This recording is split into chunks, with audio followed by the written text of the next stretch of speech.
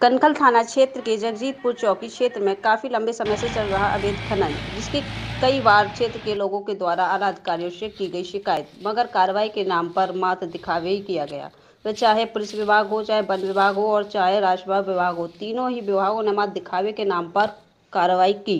परिणाम स्वरूप, अवैध खनन आज भी बस स्थिति जारी है। अब देखने वाली बात यह होगी कि क्या कोई विभाग इस तरह की कार्रवाई कर पाएगा कि अवैध खनन पर अंकुश लग सके?